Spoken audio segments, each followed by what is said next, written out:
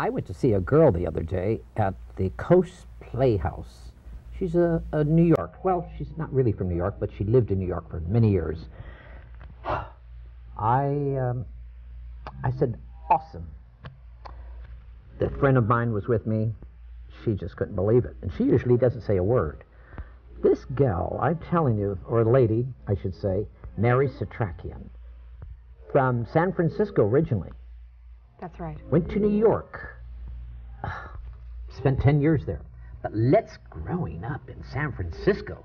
Fun? Just wonderful. Really? I grew up just north of San Francisco, across the Golden Gate Bridge, Uh-huh. a little town, Kentfield, California, and uh, have three brothers. I Always wanted to be a singer. Because in the show, in this particular show, you're doing a one woman show That's right. at the Coast Playhouse.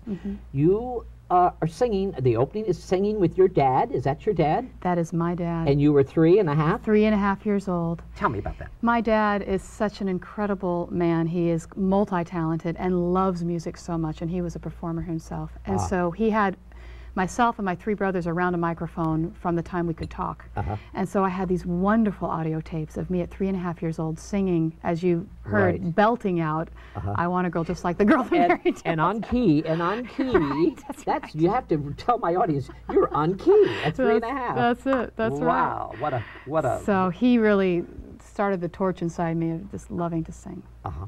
You studied uh, voice in San Francisco. I studied uh, at, at Stanford University. Okay. Yeah. Great And then I went off to New England Conservatory, got a master's in voice performance. I, I wanted to get a technique that I could have for the rest of my life. Mary, I'm looking at you. You really, because I was watching you on that stage, you really wanted to be an opera singer. Am I correct? Well, I really wanted to be, I, I loved classical music, but I think deep inside, I always wanted to do Broadway. Broadway? I think, I Oh, think deep inside. Yeah. But there was a part of me that thought I have to try this and be able to, to sing opera too, which Uh-huh. I do in the show too. But I sing everything in the show, as you know. Everything. Wow. Who did you? I mean, first, the very first, when you went to New York, you left San Francisco, Mm-hmm. went to New York, spent 10 years there. Very first, what happened? Tell me. Very first Girl thing- from California, Oh. arriving in Manhattan. I had been to Boston for three years, so I literally went from Boston to New York. But it was really the first big city. And uh, I lived in the village at a friend's flat looking for a place to live. The first week I was there, I Mm-hmm. got into the chorus of the Light Opera in Manhattan and sort of working my way up. But I, I was a secretary during the day. And also got a waitering, waitering job at that point. Right. Made five dollars a show Uh-huh. at Light Opera Manhattan, so thirty-five dollars That's a a great week. experience. It was fantastic. Yeah. I was on stage every night, Uh-huh. and and that was amazing experience to have that your legs on that stage. Absolutely, Yeah. absolutely. Then you got into Broadway. A Broadway, Broadway. Tell me, what show first? Hello, Dolly, Hello, which cha- with Carol, Channing? Channing. I had been in The revival one. The revival. Okay. I had been on tour with Broadway shows like Les Miserables, and uh, just this last year, It's a Phantom of the difficult show. Miserables. Every time I see that show, ugh, it's I- a tough show. I understudied 12 roles. Did you? I did Yeah. 12 parts in that show, so that was my big break to get into the Broadway scene. I never really cared for that show. It's Yeah, just- it's You long. know why? It's it's a downer for me. It was- Yeah. it's long and a downer. I want to go to the theater to be happy. To be happy, yeah. Yeah, Oh, and your show is understand really happy. It Thank really- you. It gives it something that. Uh, then you toured with Phantom. Phantom. Tell me about Phantom of the Opera. That was uh, a really big break for me. I got a wonderful principal role. Madame Giry, she's actually a lot older than I am, but with the makeup and the acting that I Uh-huh. got to do, it was really wonderful. You're a good actress. You know that. Thank you. uh, you're a singing Anna Magnani-ish type on that stage sometimes. Really? You become, yeah, you become a little Anna Magnani-ish, Mm-hmm. young though. Mm. A young Anna Magnani singer, you know. You're a great actress Thank and you. not just a great singer, but you take that stage, this little theater you take over, it's like incredible. You're finding it wonderful at this little theater, Oh, the it's, coast. it's just perfect. The 99 seats and with a raked audience so they can really look down. Right. The audience to be a fly on the wall looking into my intimate life. and they are. And they are. That's so exciting. Yes, they really are. Yeah. Tell me more about uh, touring on Broadway with Carol Channing and Oh, that was a wonderful pre-Broadway tour, and then we went to Broadway. Carol Channing, what an incredible lady. what did you learn from her? I learned stamina, as you know in my show. There's so much stamina. She did eight shows a week. I'm going to get that with you because you really have the energy. Wow. Oh, and ahead. eight shows a week, she'd be out there just pouring her soul in, pouring her soul into every show. She'd Uh-huh. never walked through a single thing. Uh, her determination, her commitment, Mm-hmm. I think those things really impressed me. Really impressed me. And she was wonderful to us, and I think Uh-huh. that's so important also. Evita, one of my favorites too. Yes. Evita, Eva Peron. Tell me about that. Yes, you I was it on tour. Yes, I did. Uh, in Europe, in Europe. in Germany. I played it in Duisburg, Germany. Ooh, what a classy place to be. Fantastic. And the, I've lived in Germany, in Wiesbaden, Oh. and Frankfurt, and uh, all, I love. toured all those cities. Yeah, I- love I, them. love it. It's great. You did Evita there? Yes, I did. I bet they loved you. they did. I was Did so they? thrilled. I was so thrilled. The audiences are great there. Wonderful. They just, they really just embraced that show. Fanny Brice. I look at you sometimes and I see little Fanny Brice there too. Tell. Yeah. me about Fanny Brice. You did. Well, I did it in Charlotte, North Carolina. Uh, Charlotte has become a, a home away from home. When I got off tour, I, I went there and did some summer stock. I did the narrator and Joseph, and Uh-huh. they were they called Joseph is the uh, color, Technicolor? Yes. Yes. Yes. Okay. And and CPCC Summer Theater called me and said, "We want to do a show for you. What?" And and we see you as Fanny Brice. We want you to come and do that. Mm-hmm. And then they said, "And when you're done with Fanny Brice, please come and do your one-woman show too." And so the show you, that is now in LA is the first time that I expanded. The show used to be an hour. It's now 90 right, minutes. right. So that was the first time I got to do it. Anyway, Fanny Brice. Uh, I was able to really work on it in my acting class. My acting teacher has changed my life. She's the most incredible woman. Well, this is where you got your idea for your one woman show, really, basically, on this acting workshop. That's right. Your idea came, you were doing, tell me, Mary. It was four years ago. Yeah. Um, I was in my Monday night acting workshop that starts at 6 p.m. and goes until 4 in the morning sometimes. I mean, it's an intense, wonderful people. Susan Batson, who studied with Lee Strasberg and part of the Actors Studio. Yes. You know, fantastic actors in this class. In New York. In New York. And I thought, okay, and it was a class to develop our own work, which is so brilliant because we always have to depend on others to hire us. Right. So she wanted us to have a place that we could develop our own work. And I started thinking, oh, I'll do a medley for a cabaret act. Mm-hmm. And I threw together a couple songs. She said, oh, come with love, with love songs. Right. So I came and I got this idea to make my own script out of my eclectic repertoire Right. and turn it into a story and really go from the acting point of view. And I knew I could sing anything and I thought I thought well it'd be fun to really dig into the to the actress. And that's how it began. And we got 15 minutes together and we did a backers a backers audition Uh-huh. and got a director and producer and I expanded to hour to an Right, hour show. right, right. And then moved on from there. A New York Romance. What a title. Come on, tell me about this title. I love my it. My mother thought of it. yeah, Isn't that did she great? Really? ah, this girl in New York looking for a, her, her love. Yeah, it's really It's- the 90s it- it- career woman That's story. what I said to my friend. This is the 90 girl, baby, and she's wonderful. If anyone out there wants to see a show about a 90s girl, Yeah. whew, this And- show is dynamic. And it's so difficult for women uh, who are we're so are, we career women who are so driven in Uh-huh. our careers, but we need romance too. And I think this is kind of that telling of that struggle Uh-huh. of the strong woman really trying to get a romance. I love your opening of the show when you walk in and the door slams and you fall on the floor and you're going, ah, the opera. Yeah. It's, it's actually an opera. The whole thing is an opera. well, it's really sung through like an opera is. yeah, but I sung sing, as you know, opera, pop, rock and roll, Yeah, jazz, Broadway, don't you? rap, everything. Broadway, rap, jazz. Jazz Sanders, And blues. also play the flute. I play the Come flute. on. Well, I started at nine years old, maybe even younger, uh, studying the flute, and, And I you're wonderful at it. Thank oh, you. Wonderful. I was going to be a, a flutist, flautist. Uh-huh. I, that was uh, Uh-huh.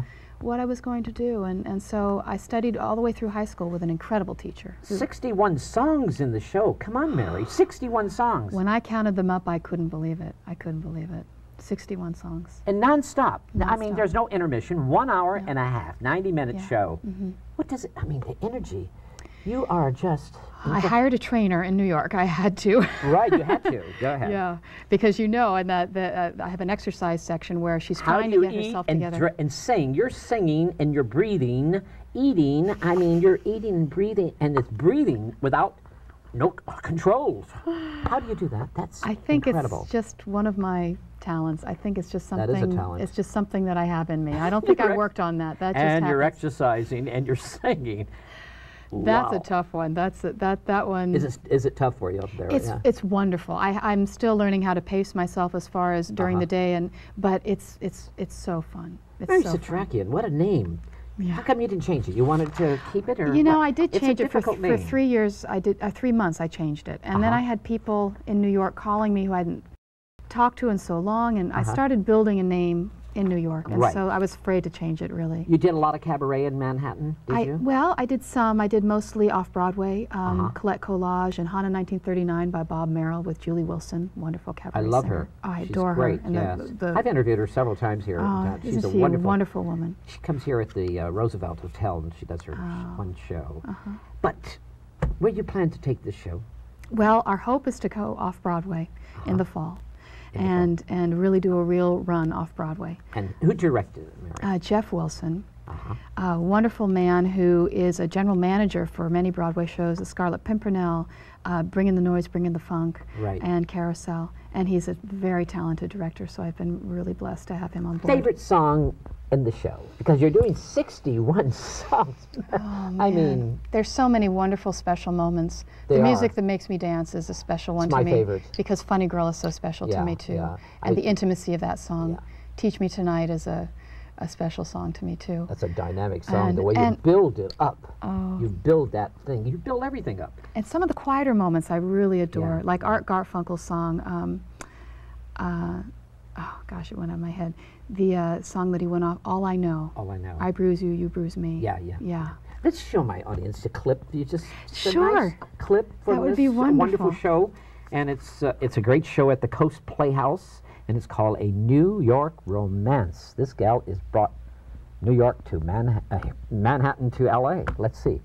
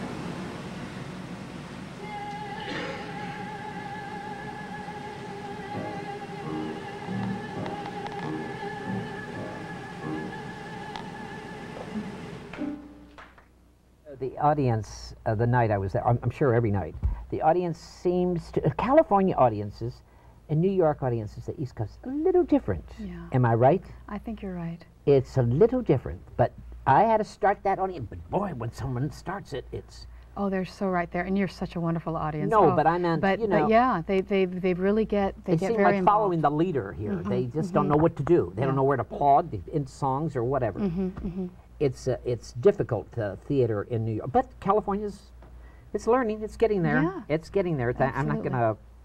Everybody says you're putting it down. So well, I love New York. New York. See, you're used to a New York audience. Mm-hmm. more body and just ju- just willing to put it all out. Yeah, yeah. Mm-hmm, Because you really give it out. You know, you really work hard at it. Yeah. You must be exhausted every night because you're Yeah. an hour and a half on this show. I mean, you're giving your every ounce of. Yeah, I, it's it's interesting. Some nights, uh, you certainly, I'm certainly still up right after the show Right. Mm-hmm. because you just want to keep flying. But I have to be very careful to just, you know, let myself come down and then really get a good night's sleep. And Uh-huh. you sing opera. You Mm-hmm. do. I mean, not just you know, just not just jazz or rap or musical, or to play the flute. Mary, you're an opera singer. You, how many languages you do? You do. I, I sing study in I, probably. I sing in Italian and German and French uh huh. and a little Spanish. Interesting. But the I've- show, the favorite show of musicals. What did you? Which one was your favorite of uh, of Broadway? In, in all the oh Of for- all the of, shows of, you've of done. all the shows I've done. Yeah. Oh, Do you have a favorite? ho- probably Funny Girl, but um, yeah, we keep bringing back coming back. That's to that one. okay. But That's yeah, Fatty that's, Brice. That's one of my just all-time favorites. Yes. Yeah. Uh, Streisand is probably who was your when growing up? Who was your? Uh, Well, I really listened to, as you know from my dad, from the from the clip, all you know, Beatrice Kay, all the real early Earlier, early singers. yes. Uh, when I was really little, and then Simon and Garfunkel, and you know, th- I love those lyrics. I listened to a lot of the people with lyrics like Carole King that's and James Taylor. That's important for a good singer, isn't it? You just get involved in Because that becomes an actress. That's it. See, you're listening to the lyrics. That's what Sinatra had such a great Oh, style. He The was- king of that, He was he? because he lis- he did the lyrics. This, that's acting, that's right. and that's what. And uh, that's what I love to connect to. Yeah, boy, Yeah. when they come to see Mary Setrakian at the um, little theater called the uh, Coast Playhouse in a New York romance, they're gonna they got a lesson for themselves because you're a hidden gem. Thank I you. mean, really a hidden gem because you're here how long? for five more weeks, all the way through August 23rd, Uh-huh. and Thursdays through Sundays, uh, Thursday, Friday, Saturday night at 8, Uh-huh. And 3 o'clock matinee on Sunday. I have never raved as long as I've been doing this show, my television show. I have seen a performer like you on stage with rare, truthful, honest talent.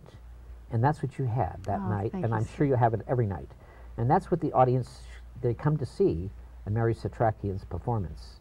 That's my goal. That's what I want. I You- want them to see that true intimacy. And Is it hard for you to do a one-woman show than a regular book show, Mary?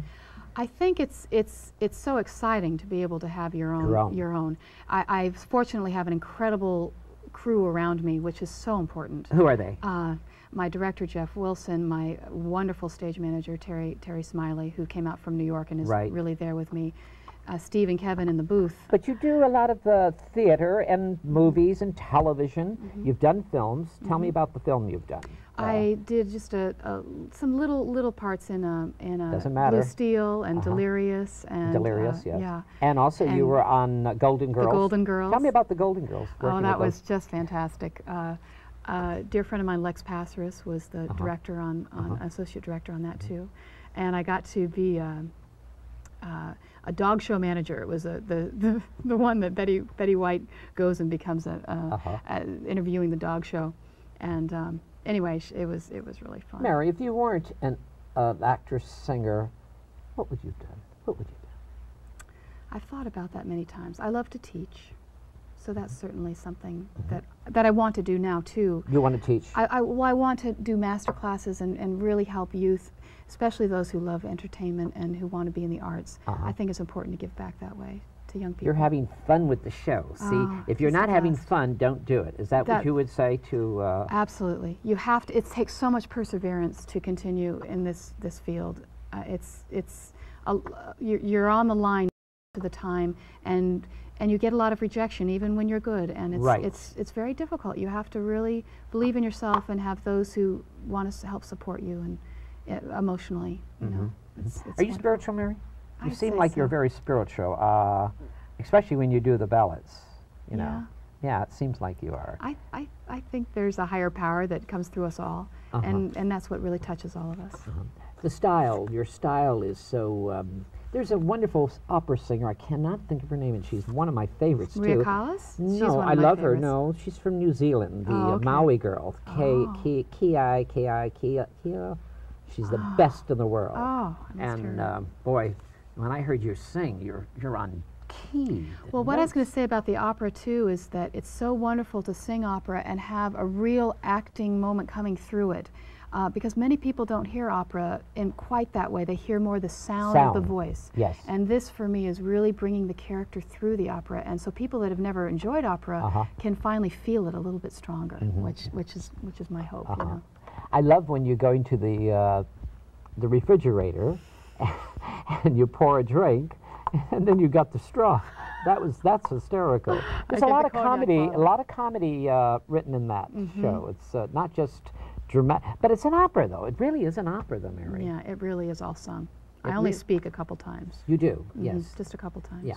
D- Has your father uh, seen the show? Yes, he saw it in the hour form, and he came opening night here, and uh, he looked pretty proud. So, What neat. would you say to women about the show who are coming to see the show? What are they telling you? I think the women really relate to this show so much. Like we said, it's the 90, 90s Right. love story, and they've all been there in one way or another. I get out self-help books and reading that. We've all done everything. Go to the Uh-huh. refrigerator and get out the I don't care where you are, New York, Chicago, San Doesn't Francisco? matter. Right. doesn't matter. Right. Uh, so it's it just crosses over that, and and to be able to to live that and laugh and Uh-huh. enjoy and you know be moved by it all Yes. at once, which is what I'm hoping the show does. What has been the hardest for you in the show?